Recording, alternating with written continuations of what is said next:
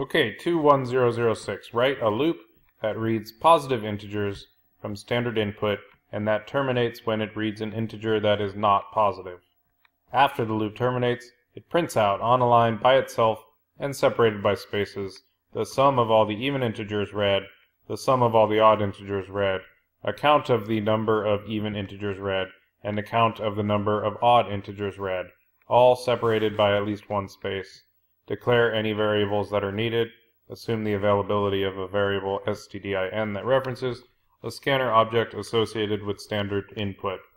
So the this program or this uh, loop is going to allow a user to enter a string of integers and while so long as the number entered is not zero or negative it will keep account of first is going to check if the number is even or odd if the number is odd it's going to add the number to the sum of the odd and it's also going to add 1 to the count of the odd.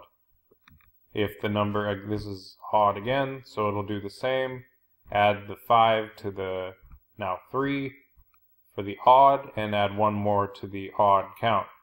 And this will be even, so it's going to add 4 to the 0 that is the so far sum of the even, and 1 to the even count. This is going to add the value of 3 to the even sum and another 1 for the even count. So in the end, and then this is going to terminate the loop. So for this example, it would be, what is it, even, the sum of even, the sum of odd, so it would be 8 space 7, wait, 8, no, this is even odd also, sorry. So this is 8, 11 space 4 space 1, 2, 3 space 1. So 11, 4, 1, 3 uh, for this example. Now, how to do that, let's see. We're going to have a bunch of variables to declare. First, we'll declare our number is an int. This is going to be the number that the user enters. We're going to declare int sum even, int sum odd, and actually we need to declare the values of these. Even equals 0, odd equals 0, int count even, so this is the count of the number of digits that are entered that are even, or count odd equals 0. Alright, go ahead and enter our output statement that we're going to build before it, but print line sum even plus space plus sum odd plus space plus count even plus space plus count odd. Alright, and we're going to build our loop here. Since we don't know how long the loop is, it's dependent on the entries, it's going to be a while loop. And it's going to be while the number is greater than 0, because it terminates when the number is 0 or smaller. And inside here, we're going to do a bunch of stuff. But we do have a problem first, which is that the number is not declared. So we need to have a number greater than 0 in order for, for us to enter the loop at all. And we'll go ahead and call it 1, because that's easy. Now, what we're going to do, this is, this is going to seem backwards maybe, but it's going to be a little trick. And maybe there's a better way to do it. This is a little trick to make this work. We don't want to get the number yet. We we'll do we'll add this, but we'll add before it. Number equals stdin dot next int is how we get number to be whatever the user wants it to be. This is the object that allows the user to enter stuff. So this is going to be the next integer that the user enters is going to be what replace number, which is 1.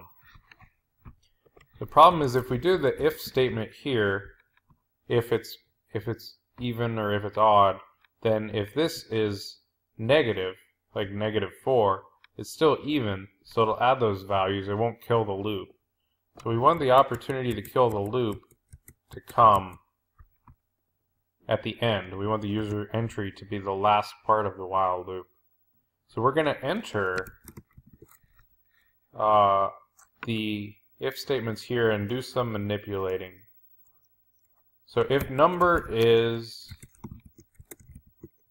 even, so if number divided by 2 equals 0, then we're going to do two things. First, we're going to add the sum of even to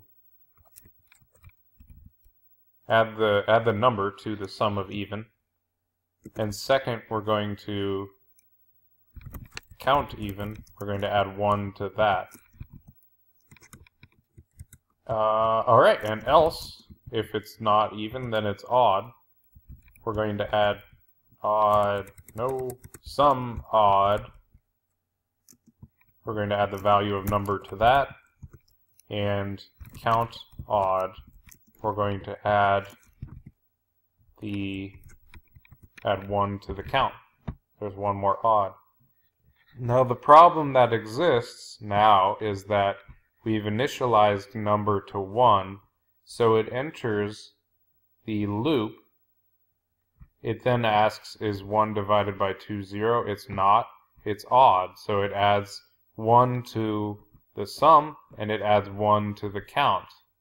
Now you might disagree with how I do this, but the simplest way I can see to fix this is to say the sum odd to initialize it is negative 1. So it's going to go ahead and add 1 to it, but that'll just bring it to 0. And similarly, the count odd is going to be negative 1, which becomes 0. So this is going to be, hopefully, our final code. But let us compile it and run it and see. I am excited and feel like this is going to work. So we'll do two, have to do one at a time. Two, four, three, five. So this should come back with two and four are the evens. That's six sum, two count, three, five, and let's throw in a one, or a two and a one, and then a zero to kill it. So what should it be? The evens are 2, 4, and 2. So that's a sum of 8 and a count of 3. And the odds are 3, 5, and 1. Did I miss one? 3, 5, and 1. So that's 8, 1 is 9. Ah, whatever, let's see. 8933. That sounds right. So we're going to go with that's the right answer. So I don't think I can get it. Oh, I'll drag this and then I get the whole thing. So the answer is all of the, oh, ah, shucks. This is, I think, the entirety of the answer, though maybe there's a curly bracket missing.